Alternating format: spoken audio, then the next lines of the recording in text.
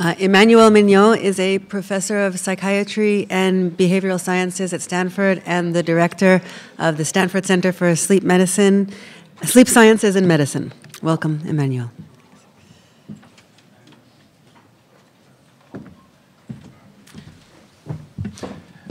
Uh, thank you, Lisa, for inviting me to this conference.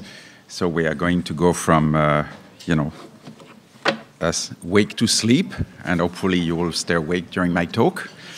Uh, sleep is a very fascinating area, and I think, uh, I mean, what's good is I'm trained as a psychiatrist, but I often say that, uh, you know, as a psychiatrist, when you go to parties and you say you're a psychiatrist, either people love you too much or they are afraid to talk to you.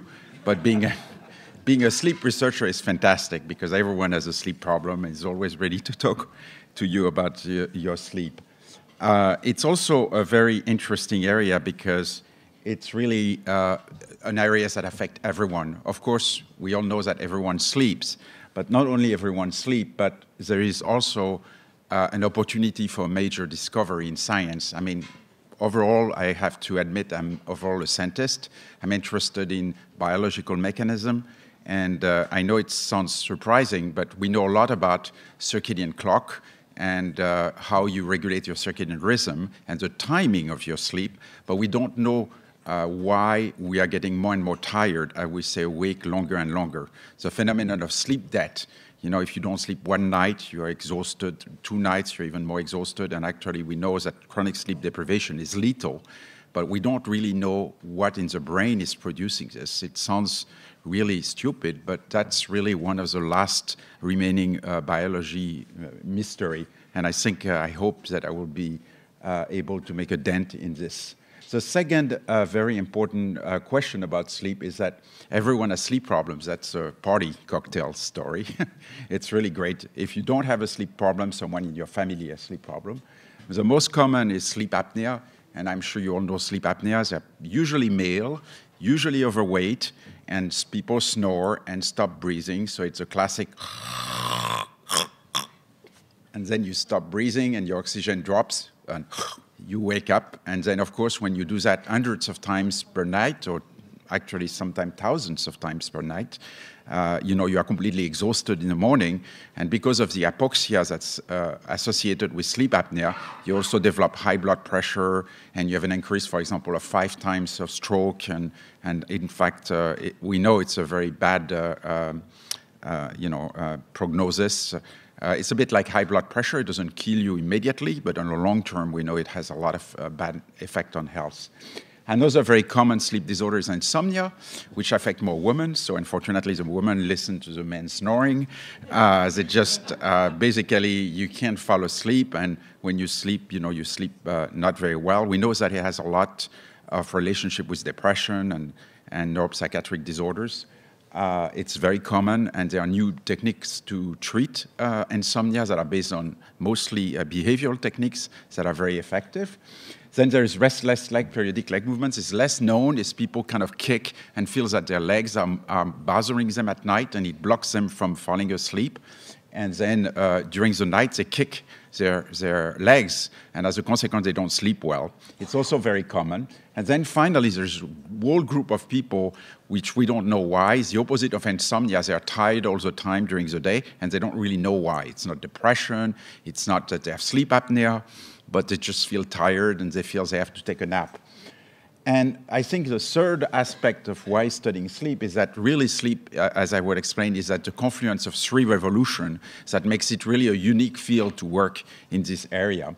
Uh, we can analyze sleep, you know, in, in very unique ways. There is a relationship, uh, uh, a, a, really big uh, movement in hardware, and also the possibility now of studying sleep at home.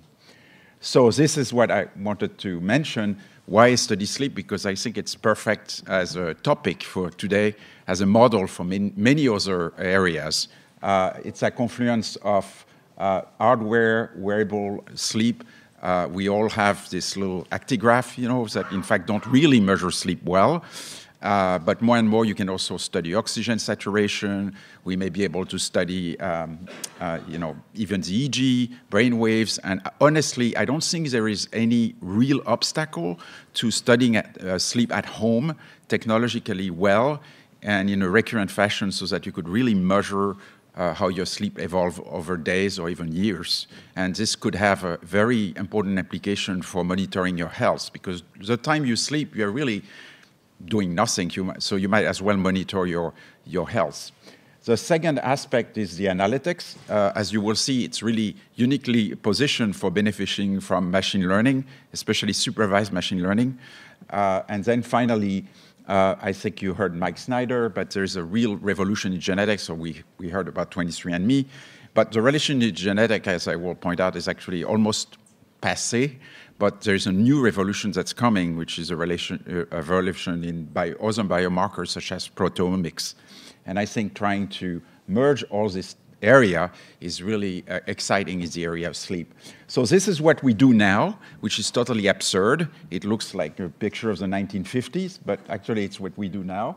It's just we measure the EEG waves uh, by this, uh, you know, uh, uh, captors up there. We measure breathing for sleep apnea with this nasal cannula, and also we try to measure oral breathing to make sure that people don't breathe through the mouth.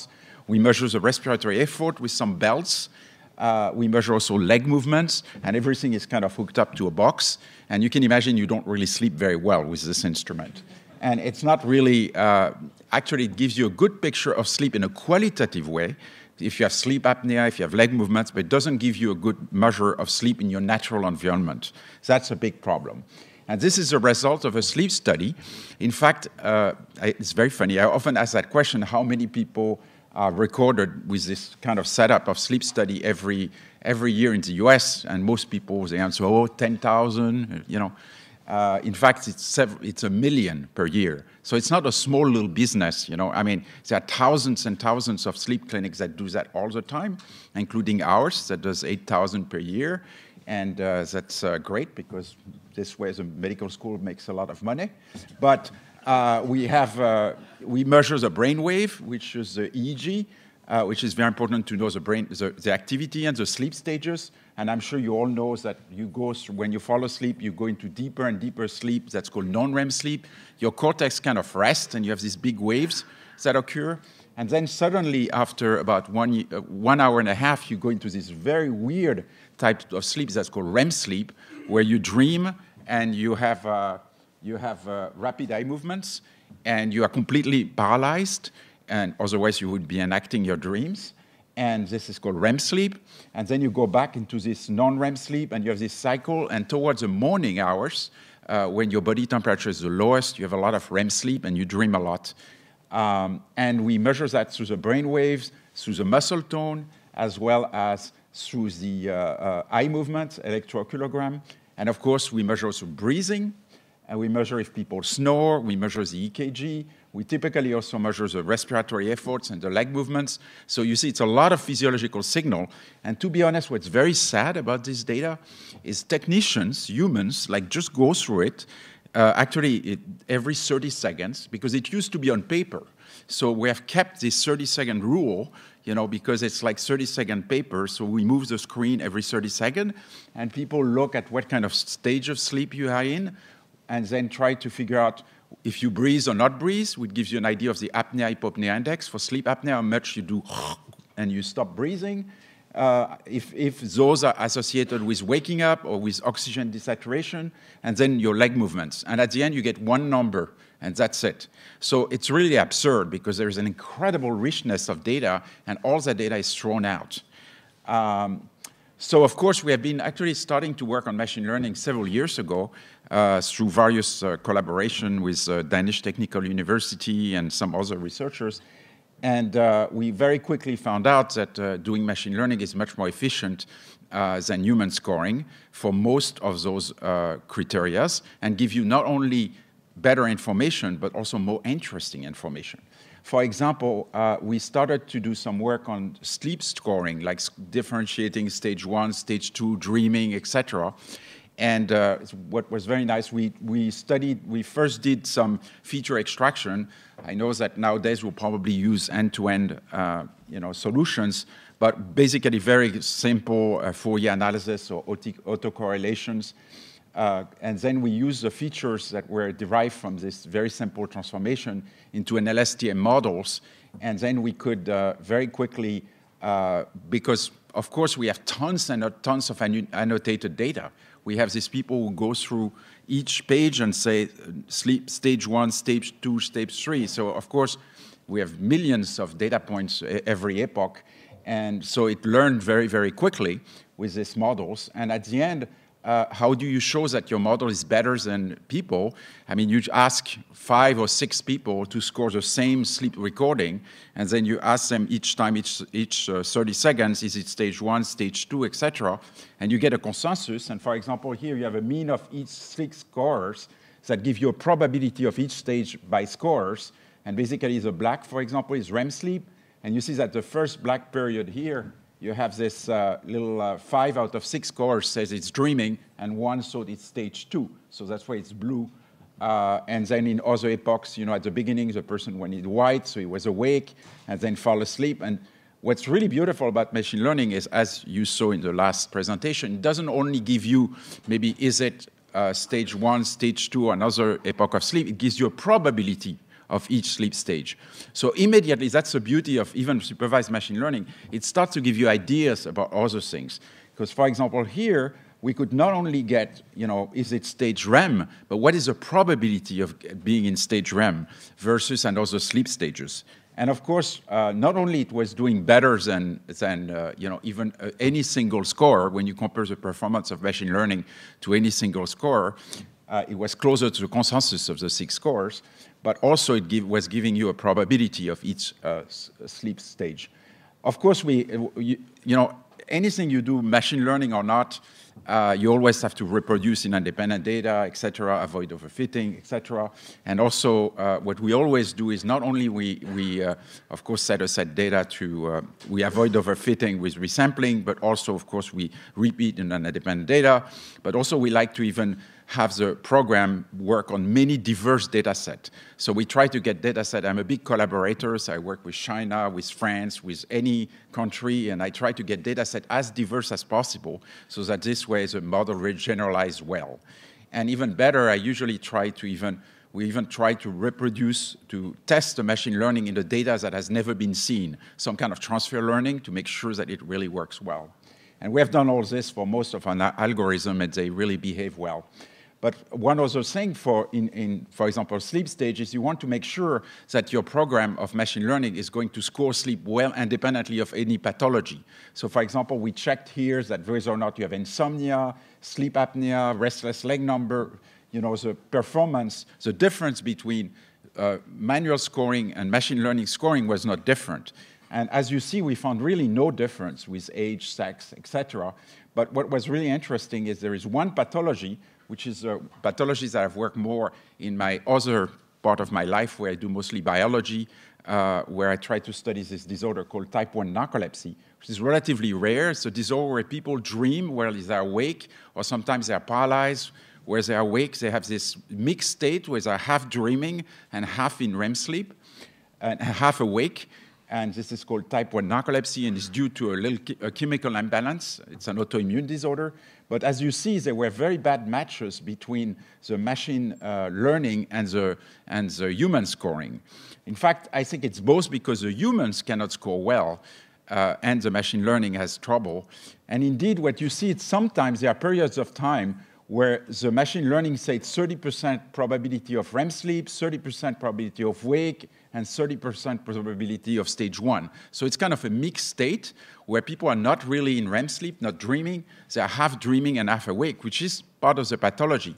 So in fact, we use this probability uh, distributions that we obtain from our hypnodensity plots, you know, these probability plots that we got from machine learning, to really uh, uh, use that as a diagnostic tool for narcolepsy. When we started to compare narcolepsy, we saw that the probability distribution in the different sleep stages were different. And in fact, now we have uh, tested more than uh, you know, uh, 800 different narcoleptics, and we can diagnose narcolepsy directly with a night of sleep. Instead of before, we were using NAP test, uh, which take an enter a day, uh, now we can actually do that just by analyzing using machine learning the, the nature of the sleep and the probability distribution of the different sleep stages during nocturnal sleep. So it's just to tell you that machine learning, even when you use supervised machine learning, it sometimes gives you ideas way beyond just your uh, first impression. Uh, similarly, we have designed very effective tools to uh, measure microarousals. One of the key uh, problem we have in sleep studies is often people wake up only for a fraction of seconds, like not a fraction of second, but two or three seconds. And those are not captured with the regular scoring that we do. But of course, it can make you very tired. And again, the same way with supervised machine learning, we have found ways to uh, actually do better than human scores in detecting these microarousals, which can disrupt sleep. And we always, uh, we can check that these microarousals, they occur either when you have sleep apneas and you stop breathing, you wake up for a fraction of seconds, or because you have leg movements or spontaneously, they can be classified much better than when you do a manual scoring. And again, uh, we, we show that it can generalize to never seen data. And then what's, I, I, was very interested by one comment, what's very hard in our field, I, I feel in machine learning, there's always something new. So it's terrible because do you restart the training with all your data set with a new algorithm or do you try to do some transfer learning? I think that's really one of the big problems we have right now is what, how do we do to uh, be able to have access to more, more various data set where sometimes there is some channels missing uh, and also um, you know, use new algorithm without losing all the trainings that we have done with other algorithms. But for example, here we, we, for apnea, it's actually a completely absurd scoring. I mean, the way we score apneas when people stop breathing, there is central apnea where you just stop breathing because your brain tells you to stop. So it's like I do. And for example, we heard about pain management. People who are opioids take opioids usually die because they stop breathing, and very often they stop breathing during their sleep. Uh, and it's basically a central apnea. Your brain kind of tell you to stop breathing. The most common is sleep apnea obstructive, as I mentioned, this kind of sleep apneas that where you snore and stop breathing. And then there is another intermediary type that we call hypopnea, where you breathe a bit less well and you snore, but you don't completely stop breathing. To be honest, this classification is completely absurd, but that's the way it is. And, and, but we found that it was a very uh, uh, because it was three different events, we decided to use a, a new technique uh, that, that uh, was uh, um, uh, from YOLO, which basically was, was really on, on image recognition, but allows recognition of multiple objects at once. so that was ideal to try to recognize three different sub-objects. And it seems that similarly, this kind of deep learning methods work as well as, as technicians. So what we are, one of the things we're doing now is trying to replace completely uh, manual learn, manual scoring. We, and we know we can. I mean, it's absolutely obvious that it's always doing better than humans. Uh, and then at the same time, we're looking at ideas to improve and go beyond uh, you know, what a human can do, but better. And of course, I am not talking about unsupervised approaches, but you can imagine right now we have five sleep stages. Why? It's just uh, something that people have decided. Maybe there's 10 if you do some unsupervised clustering. So beyond the supervised machine learning, which I think is very important to do, because you'll be surprised, but I'm sure you all experience that in this field.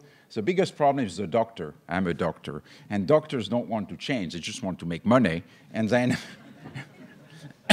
and the insurance don't want to change. So it, it's terrible because we just you have to bring the field progressively towards something more and more uh, radical. And personally, I, I, I, really do believe that uh, you know trying to first reproduce what humans do, showing it's better, and then going beyond that is a method uh, to go there. But not only we are doing that uh, for uh, you know just for improving uh, you know accuracy of, of, of, of diagnosis, but also I have developed, a, uh, I'm start, I started a, a, a, study that's called the Stanford Technology Analytics and Genomics of, of Sleep, which is funded by the Klarman Family Foundation, which I think is very exciting. That's going to merge machine learning, genetics, and proteomics. And here's the design of the study. We're basically having, going to have about 30,000 people who have objective sleep, the full polysomnography with heart rate, everything, so that we have objective sleep measures. At the same time, we also have an actigraph, uh, which can measure sleep for like two or three weeks, not, not sleep, but just activity. Uh, it's a little bit like a Fitbit. I mean, they're all the same. It's a triaxial accelerometer. They all do the same thing, uh, except that they cost uh, different prices. Uh, then we also, I heard about facial recognition. We have a 3D uh, picture of the face because sleep apnea, of course, I mentioned is when you are obese and you have a little bit more fat in your throat. That's why you don't breathe well and you start to snore and have uh, sleep apnea. But another reason for sleep apnea sometimes is when you have a very small jaw, because then you have less space in your upper airway. So we are very interested in the morphology, the facial morphology of people who have sleep apnea. And then we have a very complex questionnaire about everything you want to know about sleep. If you snore, your habits, if you're a part-time student, because of course, also sleep is not just uh, you know physiology. It depends of your social life you know. Some people are part-time students have two jobs. Some people are shift workers so all this has to be taken into consideration. Uh, and, and, then a lot of symptoms about, about sleep.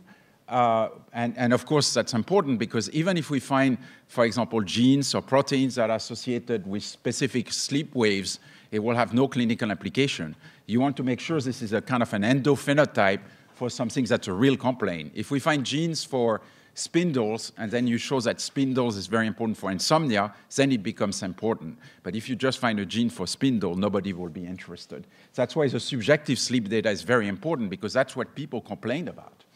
Uh, and then we also have, uh, finally, uh, this, this neurocognitive battery. And this will be the biggest data set where we'll have objective uh, sleep in, in a very large number of people and we'll be able to apply machine learning and also add the genetic data. And as I will mention, probably proteomics, which will be uh, one of the last part of my talk. So why we do genetics? Uh, I think you heard probably from uh, Mike Snyder.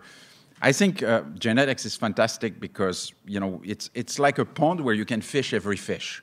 You know, you have three billion base pair, and now we can study them all.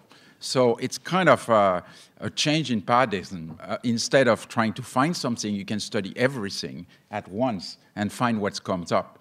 And to give you an example, my field is narcolepsy, which is due to a where this uh, chemical imbalance of a particular neurotransmitter called orexin or hypocretin, and it's an autoimmune disease.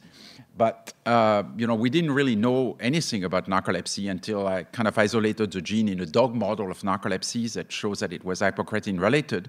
But then in humans, we couldn't really find an obvious cause. But when you scan all the chromosomes using what's called a genome-wide association, you kind of try to find which region of the human chromosome have uh, association with a specific disease.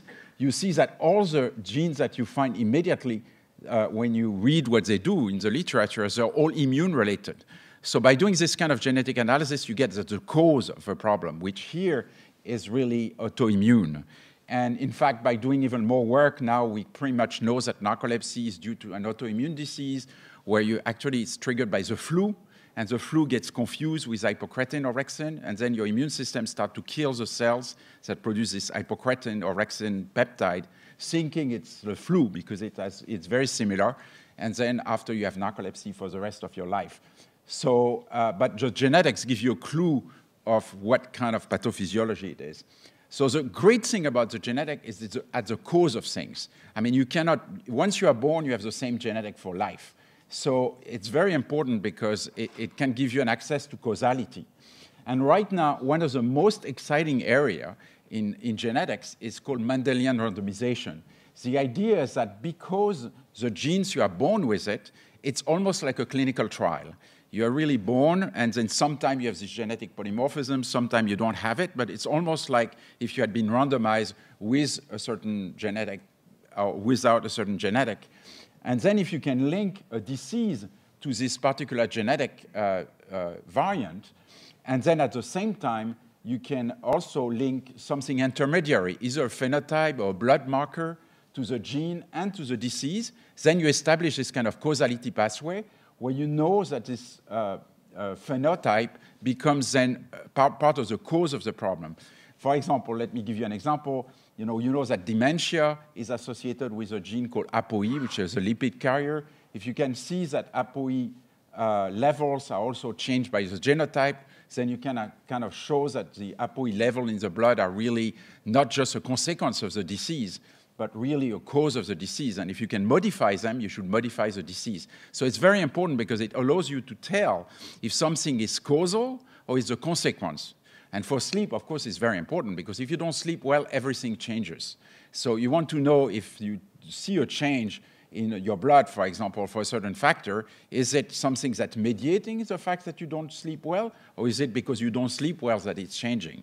And this kind of combined genetic analysis with biomarker is really one way to get at causality. And one of the most promising area in this uh, um, domain, I think, is proteomics. I don't know if Mike Snyder spoke about it uh, last, uh, last time, but the genetics for me is a bit passé in some ways uh, because you know we, we, have all the techniques; they work really well. But proteomics is really emerging, and proteomics is really what matters. It's what you measure in your blood, etc. And you'll be very surprised because we still do exactly the same kind of medicine as 200 years ago. I mean, we, for example, if we measure kidney function, we still measure one particular thing in blood that's called creatinine. And honestly, it doesn't make any sense because if you measure 10,000 things in the blood, you find 50 that kind of correlates with glomerular filtration. So it doesn't make sense to measure one thing. It's much better to measure 50 things and then get a multivariate construct because it will reflect much better your glomerular filtration than just one factor that's often uh, partially modified by other factor. So I think uh, uh, things are going to change rapidly once we can measure thousands and thousands of things in blood in one scoop. So same way as when we could measure all the genetics in one scoop. But what's more interesting about what you can measure in the blood is that it's not only modified by the genetic, but it's also modified by the environment. So, you know, it's much more direct. Like cholesterol, of course, is linked with genes, but it's also linked with what you eat. So at the end, cholesterol matters more than your gene for cholesterol. So uh, we, we are working with this company that has developed a very exciting platform. So the problem with proteomics is like fusion. It has always said that it's going to work next year. I'm sure you have heard, uh, you know, next year we'll have full uh, energy forever. But we have waited for a long time, it hasn't worked. And the reason is there were like two main, uh, you know, techniques that were used. One of them was really uh, uh, what's MS, mass spect, and, but that's not very quantitative. And then another were ELISA based on antibodies, but that's very difficult to multiplex. And there's a couple of new technology now that allows us to actually multiplex very well. And one of them is called this aptamer uh, uh, technique, where basically you use oligo, pieces of DNA or RNA, that can directly interact with proteins selectively. And then this way you can actually design this oligo like if they were antibodies, you mix them up in a, in a blood sample, and each one is going to recognize a different protein. And then at the end, you, you hybridize them on an array. You transform that into DNA uh, kind of information, and then you can quantify thousands of protein. And in fact, this, protein, this new platform can measure up to 5,500 proteins in 100 microliter of blood, for example. I mean, that's a complete change. And to give you an example, we try to predict age with actually this is an older platform with only 1,300 protein. So we didn't even use the new platform. And basically, of course, we use uh, you know, a very simple uh, machine learning uh, technology. And uh, we, when we uh, did this, we, we can actually predict age within three years.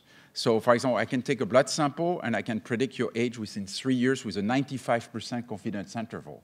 That's pretty good. And, and uh, that's just to show you. And of course, some of these proteins are consequence of aging, and others are probably causal in the aging process. But that will be uh, too long to explain. But that's through the genetics that you may be able to, to differentiate the cause and consequence. So that really told me that it was really great for sleep. Because one of the big problems with sleep is besides this clear pathology, again, we still don't know why you get tired when you're sleep deprived. And also, another thing that everyone wants to know is what's your internal body time?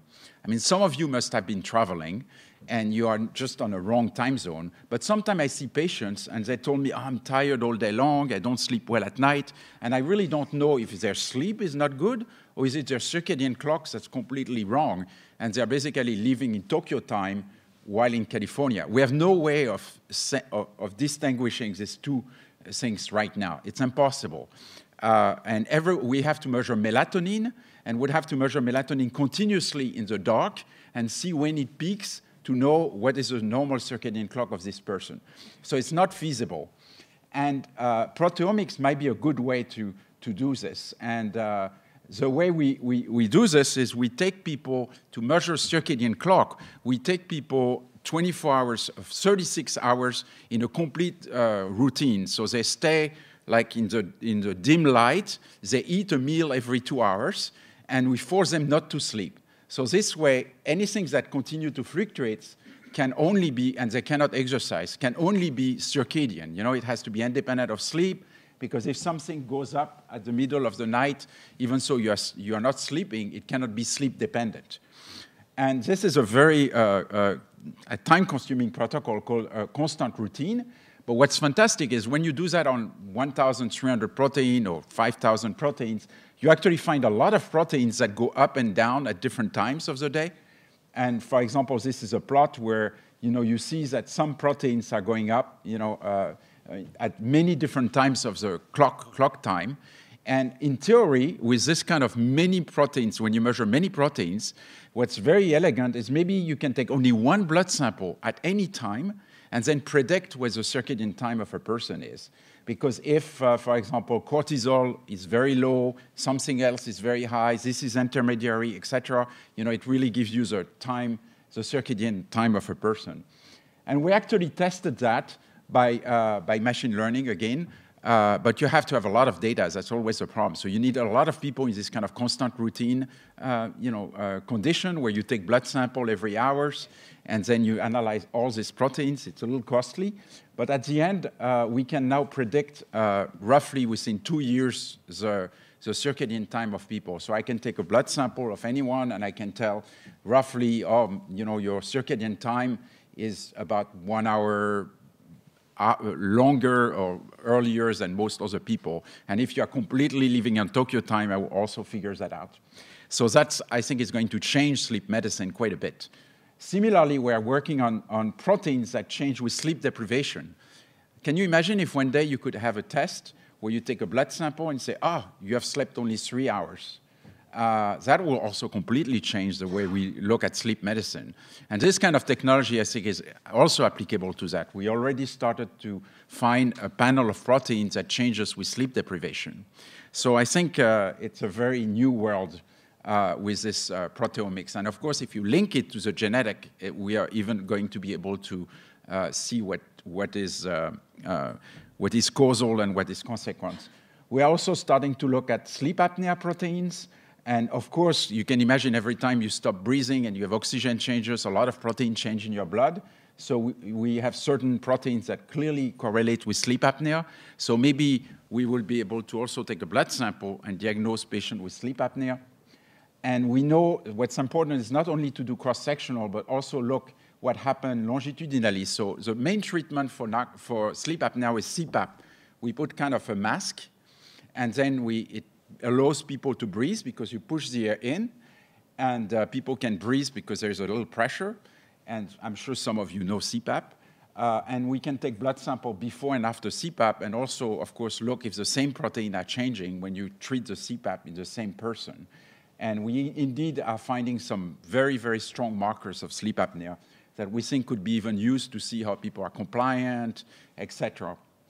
Uh, so really, my, my goal is to uh, find a panel of proteins that's going to predict circadian phase and amplitude with a single blood sample, also how much sleep you have had uh, in the past, and maybe some proteins that reflect hypoxia when you have sleep apnea or certain sleep disorders. And then finally link it to the genetics and to the machine learning of the sleep recording to really understand the whole pathophysiology and, and maybe the pathways that are involved in sleep regulation and sleep disorders. And in that last point I want to say is that right now I'm doing this full PSG, but it's because the insurance are paying for it, so I'm very happy. It's, uh, it's actually great because you have a lot of physiological data, but truly I don't really understand why it's not disappearing even faster than it it should disappear fast because there's really no reason. We could probably have very simple sensors that could give you almost the same information. So together with uh, uh, Lydia Wu, Ma Michael uh, um, Ada Poon, and, and Zhenan Bao, We are, for example, working on trying to do new sensors that could measure EEG. We believe that the sound, I, I was uh, interested in voice recognition, but it's true that, I mean, snoring is like a music. I mean, I can tell you, every snorer is different. And I can tell you that if you measure sound very carefully, you can really tell if someone stopped breathing just because they decided to stop breathing or because they are snoring and they have sleep apnea. So I think actually just sound should diagnose sleep apnea as well as all this complicated recording we do. Uh, the sleep stages I think we still need because I really believe in brain activity. And unfortunately, we don't have non-contact sensors that can measure brain activity. Right now, actually, there's a big fight is people who think you can sleep in a bed that's going to measure everything without touching you. That's a non-contact sensor business, or contact sensor where you can uh, have, maybe we put one patch here that measure your EEG, something that measures sound, and something that measure your leg movements, and you have everything. I'm actually working more in the, in the contact sensors because I believe there is nothing yet that can replace brain activity measurements without touching the person. But I agree that's a close fight. You know, maybe the people who only measure non-contact uh, you know, physiology with uh, various, they may win. But really, at the end, you don't need that much. You need really, uh, if you stop breathing, your brain activity, and your leg movements. So I think it could really be simplified. And at the end, it could really be probably almost a, a, a, measure of your brain health, because you could imagine wearing these things at home, sending the data through the web, and then it will be automatically processed by machine learning, and it will tell you how even how your sleep is and what kind of disease you have, and even if it's changing. We also all know that when you develop depression, sleep is the first thing to change, but nobody has really looked if there's predictors in your EEGs that could tell you that you're going to develop depression. Uh, for dementia, for sure, it's changing. For Parkinson's disease, there is very specific changes that we already know happen during sleep way before it starts. So there is a trove of biomarkers, and it will be even more obvious when you really study permanently at home. And uh, we also want to link that to genetic to get the molecular components that really are generating sleep. We want to find this biomarker of sleep disorders we really believe that you need automatic non-human analysis basis of sleep signals. You need a new wearable device that can be used at home. And uh, at the end, I think what would be very attractive is if at the same time it's analyzing sleep, it can produce directly a feedback to you. For example, if you have a sleep apnea, you could imagine that it could stop your sleep apnea. I mean, that will be a long story, but you could imagine a technology that automatically finds that you have sleep apnea. At each moment you have sleep apnea, changes your breathing. And I think uh, we are really, I mean, there's not a field that's more exciting than sleep. I mean, as you know, a lot of people are working on cardiovascular disease. I mean, Apple has done a lot of work on cardiovascular disease, but I think sleep is a new frontier because it's, it's encompassing many, many more things uh, than just the cardiovascular system. These are a few of the people that have participated in the work that I'm presenting. Uh, we, Aditya uh, is in my lab and he, he, does a lot of machine learning. Um, and uh, I want to mention that I'm uh, working a lot with some people at the Danish Technical University, as well as uh, people from Ecole Polytechnique in the machine learning area. Thank you so much for your attention.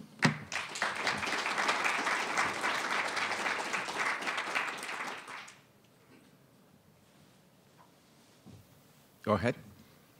Uh, is there a commonly accepted understanding of what constitutes good sleep? You mentioned that you're trying to find uh, what proteins or other factors prevent people from having slept well. Uh, but what actually defines it? Uh, it the amount of deep sleep, REM sleep, duration of it? Because there are different, different metrics, but I, I, I don't know how you define it. So I, I think that's an excellent question. Uh, like a good researcher, I'm going to tell you that we don't know, but I'm, uh, I would say still it's not true. We know certain things. For example, we know that sleep needs to be continuous, so if it's interrupted, it's bad. We also know that, of course, if you have all this sleep apnea and so forth, often you, you don't even wake up.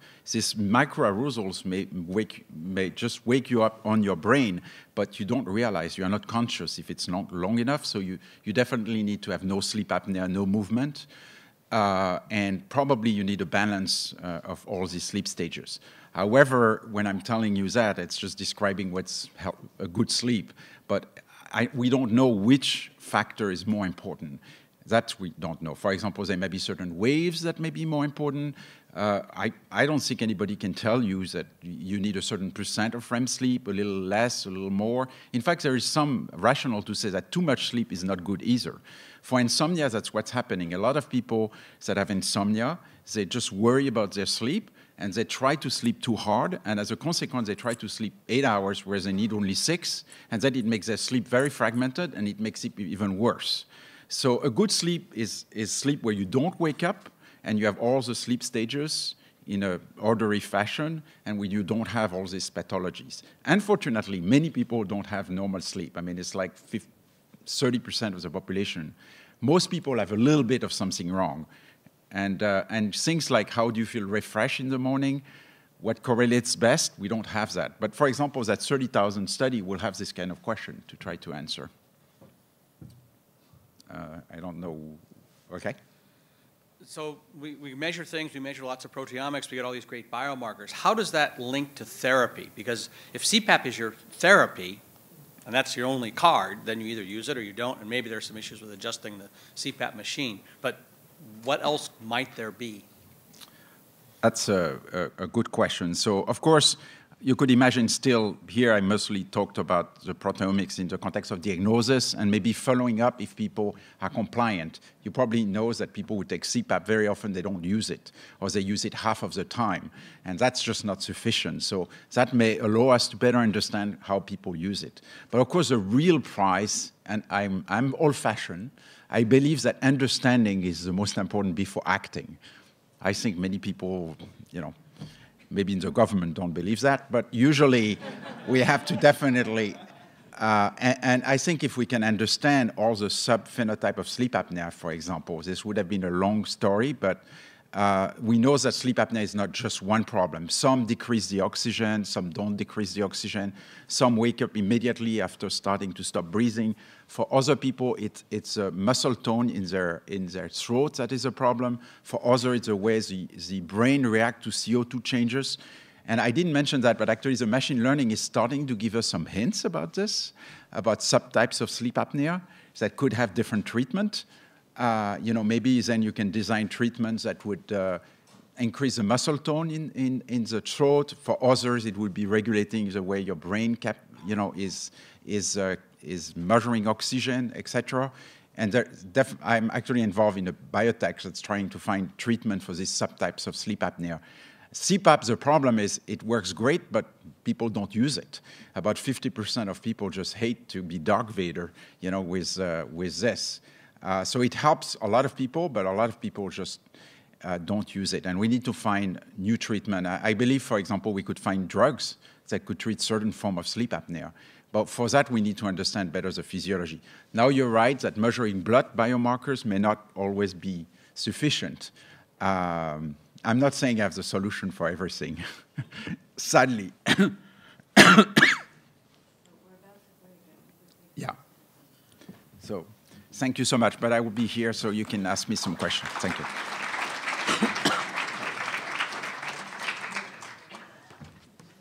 Uh, we're going to take a quick break now. We're going to be back at uh, 11.15 sharp for Aviad Chai.